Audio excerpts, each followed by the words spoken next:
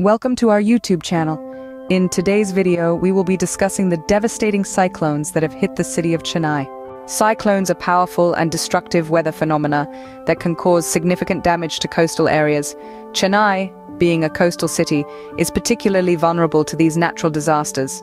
Over the years, Chennai has experienced several cyclones, with some of the most notable ones being Cyclone Varda in 2016 and Cyclone Gaja in 2018.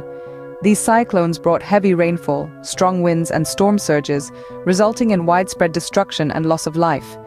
The impact of these cyclones on Chennai's infrastructure has been immense.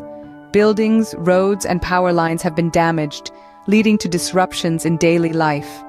The city's drainage system has also been severely affected, causing flooding in many areas. In addition to the physical damage, cyclones also have a significant impact on the economy and livelihoods of the people in Chennai. Agriculture, fishing and tourism industries suffer greatly during and after these cyclones, leading to financial hardships for many. To mitigate the effects of cyclones, the government and various organizations have taken several measures. Early warning systems, evacuation plans and disaster management strategies have been put in place to ensure the safety of the residents. It is crucial for the people of Chennai to stay informed and prepared for cyclones. By understanding the risks and taking necessary precautions, we can minimize the impact of these natural disasters on our lives and our city. Thank you for watching this video.